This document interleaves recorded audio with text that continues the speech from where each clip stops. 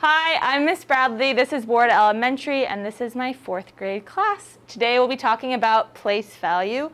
So we're starting with our number talk. Look at the number. We're not saying it out loud yet. Think anything you know about the number. You have one minute first at your desk to talk to people at your table. Share anything you know about this number, especially if you can read it out loud. Turn and talk first. You have one minute. Donovan, talk to Elijah.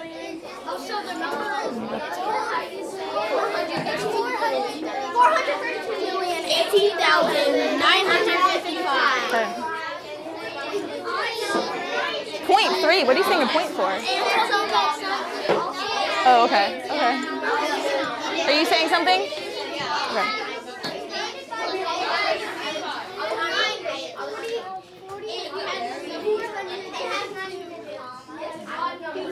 Okay, five, four, three, two, one. You should be at a zero. Okay, we just started this yesterday, so the first one honestly is a challenge. Raise your hand if you think you can read this whole number aloud. okay, Jolie.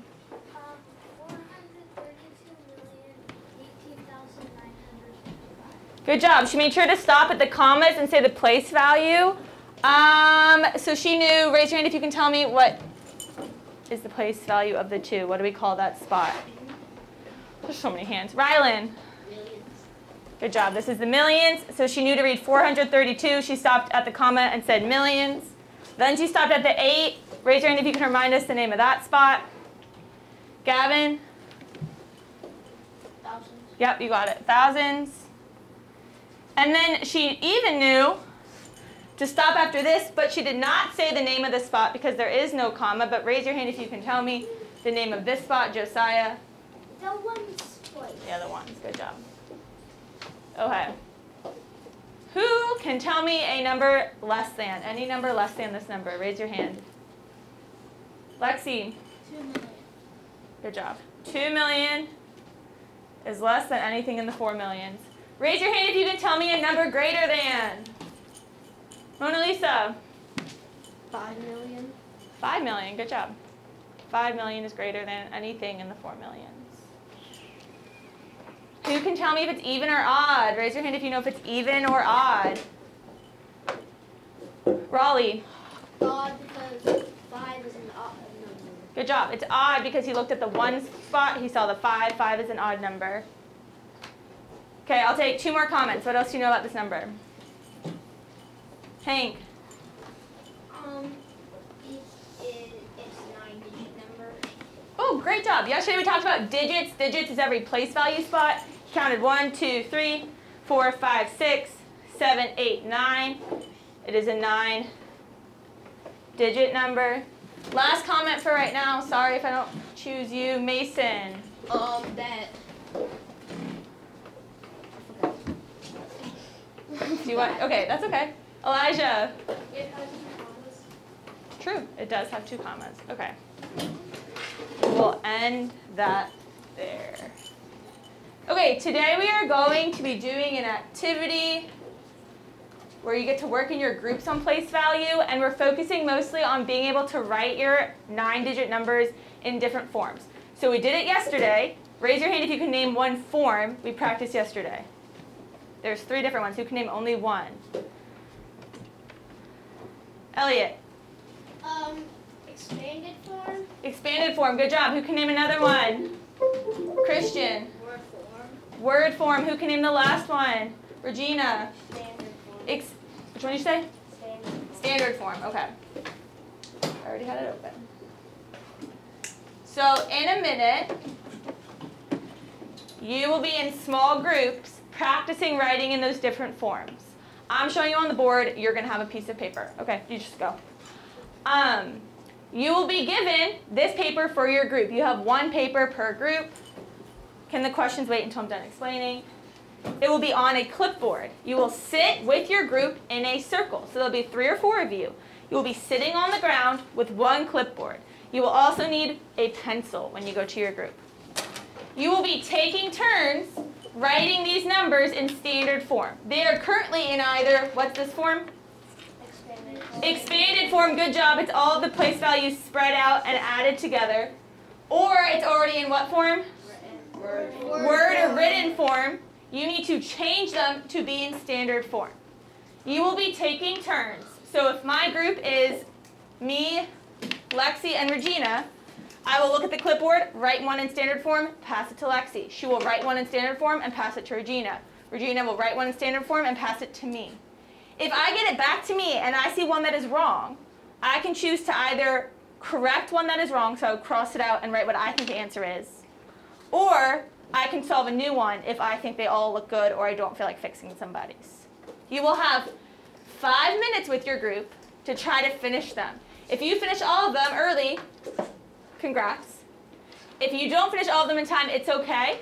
When we're done with all three rounds, I will just see which group has the most points, the most that are correct. So you do want to be making sure other people's are right because if someone keeps putting in 100, 100, 100, 100, and you're not fixing it and saying that's not even what we're doing, then you're not going to get the points. So you need to either be correcting or writing a new one. We will do it one time where you're writing them all in standard form. We will do it one time where you have to change them all to be in expanded form. And then I know you don't like it, so I only made it two rows. We will be doing it one time where you have to write them in words. I know, but it's only six. So you are sitting with your group. I will put a five minute timer. At the end of the five minute timer, I need one person from your group to bring me the clipboard and I will give you the next round. You don't know your groups yet, so there's no point talking about it. If you finish early, you should be checking them to make sure that you really have them all correct because the last thing you want is to be sitting there for two minutes talking about TV shows when one of them is wrong and you missed a point. Okay, I have six groups and I have 21 people. Raise your hand if you can tell me how many people are going to need to be in each group. I have 21 students and I have six groups. How many people will be in each group? Carson? Four. Good job, three or four. Yeah, it's not going to be perfect. Okay, I'm going to call your group and I'm going to tell you where to sit. The first person I call is in charge of the clipboard. Everyone is in charge of their own pencil. So first person I call, get the clipboard. Mason, Regina, Mona Lisa, you'll be right here. Mason, Regina, Mona Lisa. Josiah, Nevaeh, Donovan, and Hank. You will be near Hank's desk. You will be near Hank's desk. Devin, Lexi, Alejandro, Gavin. You don't need to write anything yet. Devin, Lexi, Alejandro, Gavin, you'll be sitting over there by the bookshelf. You are writing one and passing it. You are not allowed to write as many as you know. You cannot just write four because you know four of them. You write one, you pass it. You can tell your group and help your group, but each person is taking turns writing one. If you finish early, are you going to stand up and scream, I'm done, I'm done, I'm done? No. No, you need to check your work. Because standard form, you might be quick enough for five minutes. Expanded and Word are going to take you longer. So use this time to make sure you're getting all of them right. Are there any questions before we start? No. Regina? Do we write our names on it too? You don't need to write your names on it because I will just give you the same color again. Okay, when the timer goes off, you must stop writing. Ready, set, go.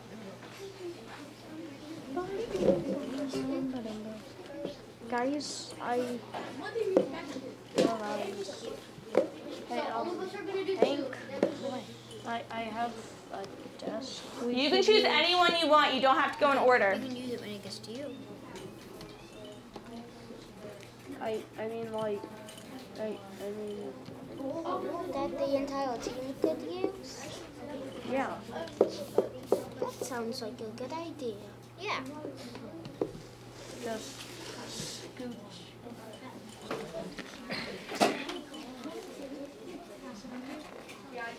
Is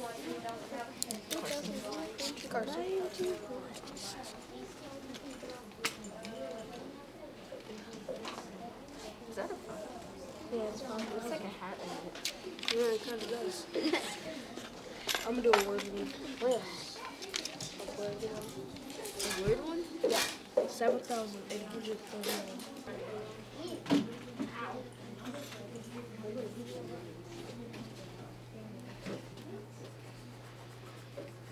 You can't write it for him, but you can keep telling him. Keep telling him what you think. Can you explain why? Maybe that will help him.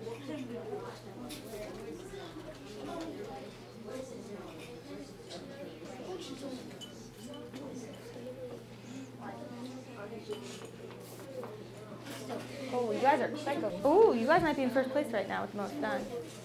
She's the boss of the group, so she's a girl. Be quiet. Remember, you can help your teammates. You're You're allowed to reminding yourself of pals. You're seven. Wait, who's after me? Oh. I don't care. I'm just gonna let these guys do mine. Because apparently my way is right.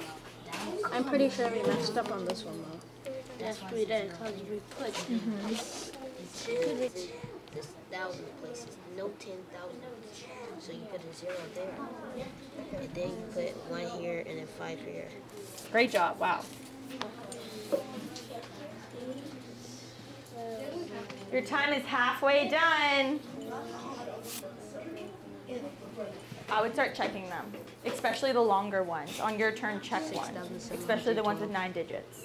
Anyone, on your turn, check a nine digit one. Make sure it's right. Remember, you can help each other, so if you're confused, you can ask for help. If they see a mistake, they can tell you about it. Thanks for watching our math class. Bye.